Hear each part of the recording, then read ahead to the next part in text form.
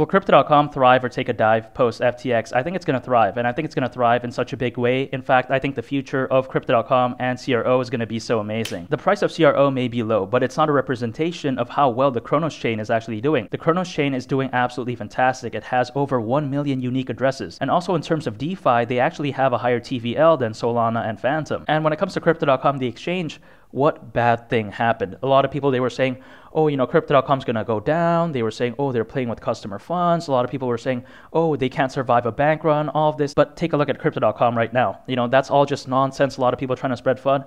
Nothing bad happened to crypto.com. And in fact, they're actually thriving. You take a look at even during a bear market, they're sponsoring the FIFA World Cup. And also, you add on top of that, they have over 70 million users. I mean, Crypto.com isn't going anywhere. It's not going down. And in fact, I think CRO could potentially do a 30x very easily the next bull run. I truly do. And now that's not financial advice, but when I just take a look at the Cronos chain, when I take a look at how amazing it is, I mean, I just don't see why $2 is really out of the realm of possibility. You take a look at it last year, right? You know, the Cronos chain last year was nowhere near as good as it was today. Crypto.com, the exchange, is nowhere as strong as it is today. And still, even last year, it was able to reach nearly a dollar. So during the next bull run, I don't see why $2 is really out of the realm of possibility. And this whole FTX situation, it did affect CRO in a negative way, right? But I think it's actually a blessing in disguise because, yeah, sure, it sucks for people who bought CRO a couple months ago. Maybe they went all in, or some people who bought CRO last year, including myself. I've been buying CRO ever since last year. Yeah, of course, sure, it sucks to see my portfolio down. Of course, that sucks, but I'm not selling any of my CRO. You know, I do not want to sell CRO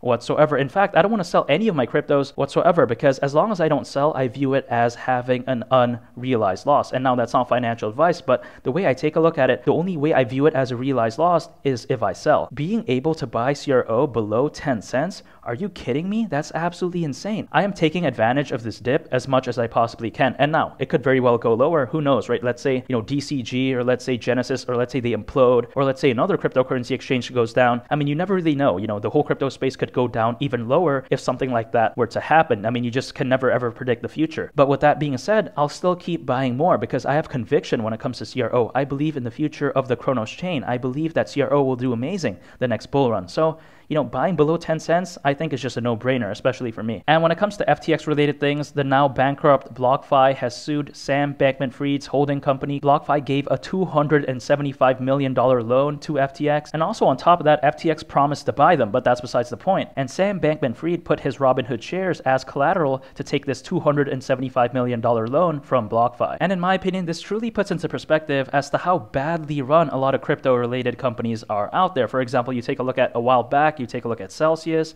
you know, FTX, and now to a certain extent BlockFi.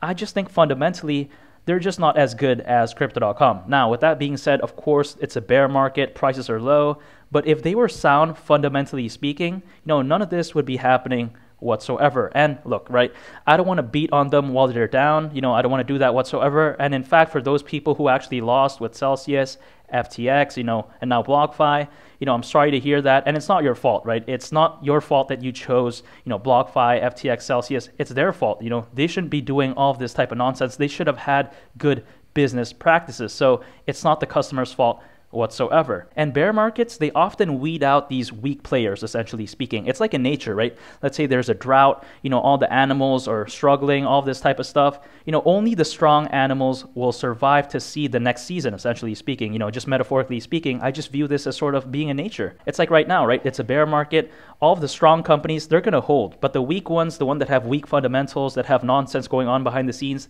they usually and typically get weeded out. The strong ones are the ones to see the future. And Crypto.com is definitely a strong one. It's going to survive. I truly do believe that. It's essentially going to survive this drought, aka bear market. And when it comes to Sam Bankman Fried and FTX and Alameda Research, I mean, man, I mean, when you take a look at Sam Bankman Fried, he ran FTX like a total clown show. I mean, truly. I mean, you take a look at how he's living in an apartment with his roommates who are running FTX, a multi billion dollar company. I mean, who does that? Granted, it's a $50 million apartment in the Bahamas, but still, I mean, who does that, right?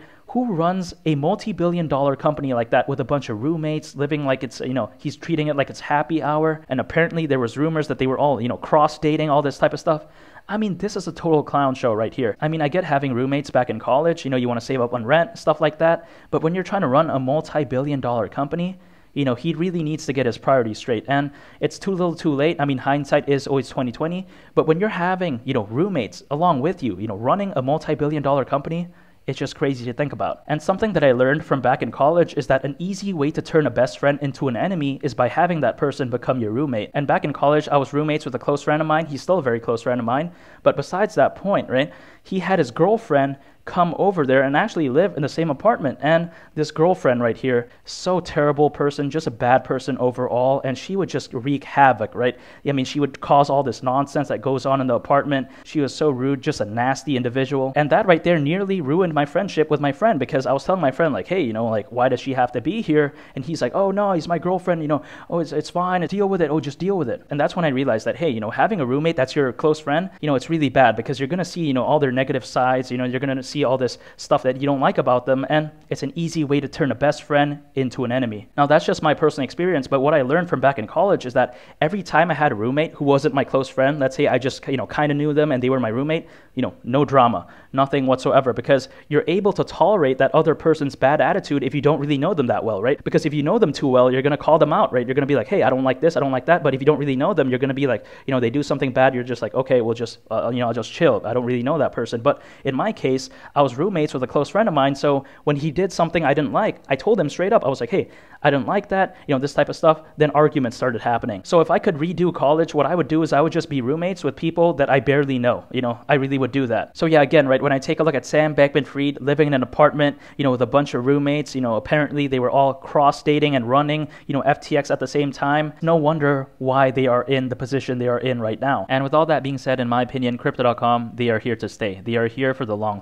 term. And you know, while these clown shows like FTX they get weeded out, Crypto.com will be able to see the future. They will see the light, and in my opinion, it's going to be absolutely fantastic during the next bull run. CRO is going to rock the house. Crypto.com is going to continue to be bigger, better, and stronger than ever before, and it's going to be absolutely fantastic. I just can't wait. And make sure to click subscribe and smash that like button. I would greatly appreciate it. And it's been Lee the Captain, and I'll catch y'all on the next one. I'm out. Peace. Bye.